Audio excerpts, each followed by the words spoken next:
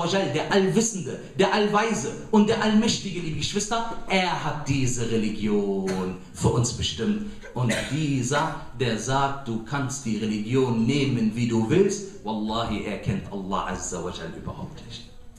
Allah Azza wa Jal, er akzeptiert nur die Religion des Islam, die einzig wahre Religion, eine Religion, die die Religion aller Propheten war, liebe Geschwister. Alle Propheten waren Muslime und das sagen wir mit Stolz, weil wir Anhänger aller Propheten sind. Wir lieben Noah, Nuh.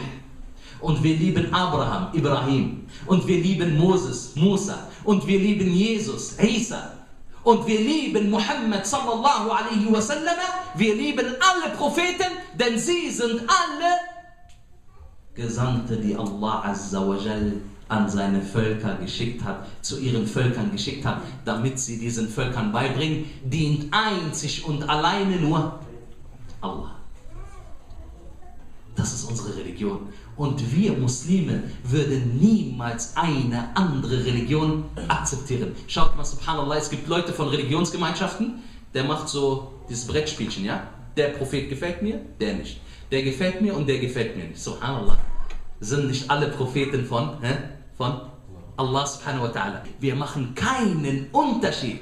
Wir machen keinen Unterschied zwischen den Propheten. Warum? Weil sie alle Propheten von Allah subhanahu wa ta'ala. Wie können wir Unterschied machen, wo Allah sie alle beauftragt hat mit einer gigantischen Botschaft? Warum sollten wir zwischen ihnen unterscheiden? Aber manche Leute tatsächlich, er sagt dir, dieser Prophet gefällt mir, mit dem möchte ich nichts zu tun haben. Ein Muslim, der nur sagt, dass er sich nicht mit einem Propheten identifiziert, der einen Propheten leugnet, so ist er ein Käfer geworden. Kein Muslim. Unsere Religion. Wenn du sagst, Jesus akzeptiere ich nicht, du bist ein Käfer geworden. Wenn du sagst, Moses akzeptiere ich nicht, du bist ein Käfer geworden. Wenn du sagst, Noah, Abraham akzeptiere ich nicht, du bist ein Käfer geworden, denn der Islam ist die Religion aller Propheten.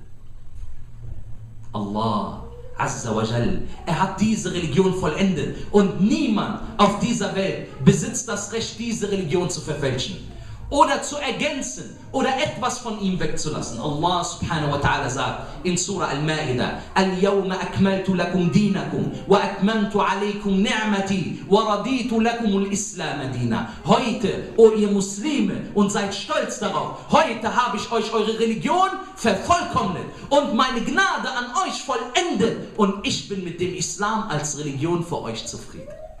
Allah ist zufrieden und du nicht? Wenn du wirklich, lieber Bruder und liebe Schwester, wenn du dich wirklich gläubig nennst, dann ist dein Herz für deinen Schöpfer. Dein Herz tickt nur für Allah subhanahu wa ta'ala. Und du musst zufrieden mit dieser Religion sein, auch wenn es nicht mit deinen Gelüsten übereinstimmt. Na, dann bist du ein Gläubiger. Warum solltest du dich sonst ein Gläubiger nennen? Unserer Religion, liebe Geschwister, ist es verboten, den anderen Recht zu geben, wenn man weiß, dass sie etwas Falsches über die Religion Allahs sagen. Wir haben nicht so etwas wie Komplimente. So, er ist mein Vater und deswegen darf er über die Religion sagen, was er will. Nein, sowas haben wir nicht. Wenn jemand etwas Falsches über die Religion sagt, dann sagen wir, was richtig ist und akzeptieren das nicht. Das Falsche, was er sagt, sei er auch unser eigener Vater. Unsere Religion. Denn wir lassen das Falsche nicht als falsch stehen, sondern wir sagen, was richtig ist. Und nicht nur, weil du eine Beziehung zu einer Person hast, wie